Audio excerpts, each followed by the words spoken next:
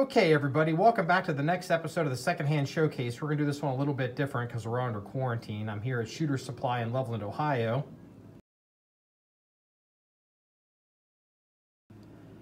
And what we have here today is a pretty unusual and rare gun, at least my understanding is. This is a N-frame uh, Smith & Wesson uh, 25-14. This is a limited run of uh, of a, of a gun just for Lew Horton. Uh, it is a, uh, it's 45 ACP and it uh, uses moon clips. Does it take 45 long Colt as well or just ACP? AC, ACP. 45 ACP at moon clips.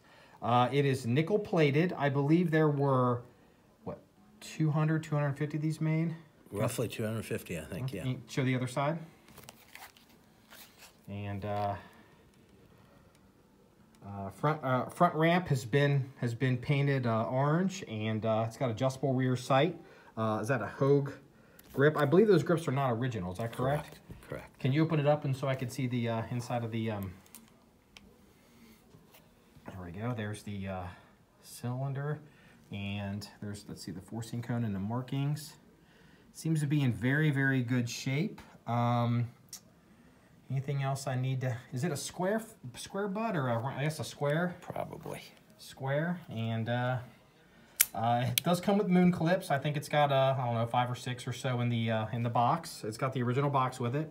And it, uh, it might come with ammo if you pick it up locally. Uh, if you want it shipped, that's up to you. But I, if you're interested in uh, this gun, uh, please uh, visit our website, john1911.com. You can click the link and you can contact the dealer directly. That's john1911.com. Remember, it's all about shooting guns and having fun. Everybody, have a good coronavirus day.